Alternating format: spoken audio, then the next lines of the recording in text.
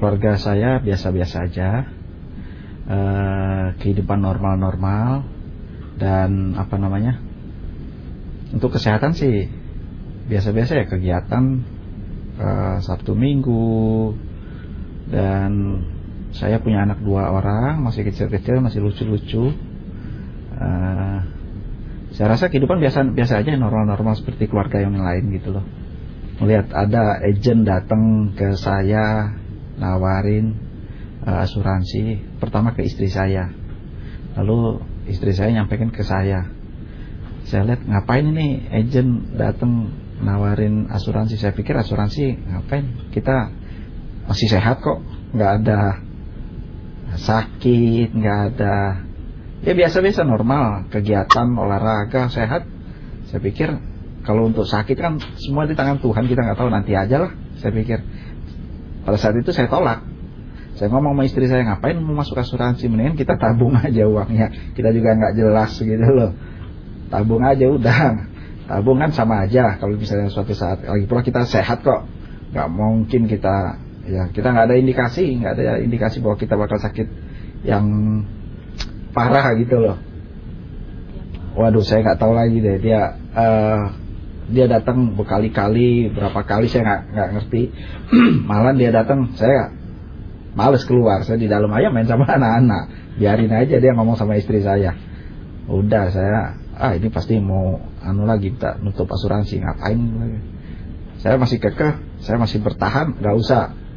Tapi nggak tahu gimana istri saya ngasih apa namanya ngasih penjelasan saya pak umur kita udah di atas 40 coba pikirin.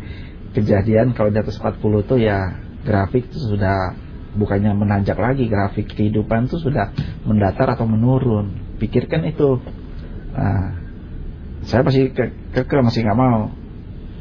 Dia selalu ngomong istri saya karena mungkin masukan masukan dari agent kali. Dari agent tersebut datang ngasih masukan terus ya mau nggak mau akhirnya saya lulu juga karena ya usia saya di atas udah di atas 40 anak-anak masih kecil-kecil. Ya benar juga ya. Cobalah. Tapi saya pikir dengan bayar segitu lumayan kan setiap tahun. Ngapain untuk bayar itu? Nyicil-nyicil juga. Kalau sakit-sakit flu sakit paling juga habis berapa, ratus ribu. Nggak sampai ke dokter aja cuma paling lima puluh ribu gitu. Obat-obat paling berapa gitu. Tapi ya akhirnya saya hati saya lulu juga dengan adanya uh, istri saya ngomong bahwa asuransi itu bukan untuk saat sekarang. Memang saat sekarang sih gak apa-apa tapi nanti coba aja lihat. Gitu loh. Ya saya setelah saya masuk asuransi sebenarnya sih agak dongkol juga ngapain bayar setiap tahun gitu loh. Enam bulan sekali kalau nggak salah bayarnya. Enam bulan sekali tuh sekian juta enam bulan sekali sekian juta. Tahu-tahu sudah ada uh, tagihan di kartu kredit saya gitu. Nah adalah tapi tetap aja harus saya bayar karena udah di kartu kredit. Mau nggak mau harus saya lunasi. Setelah dua tahun jalan ketiga jalan ketiga uh, ya kejadian yang tanpa diduga. Saya sehat, saya olahraga, tapi mungkin pola hidup saya. Kenapa saya sampai kena serangan jantung? Kejadiannya itu siang jam setengah satu siang keringet dingin, keringet dingin, gede, muncul, terus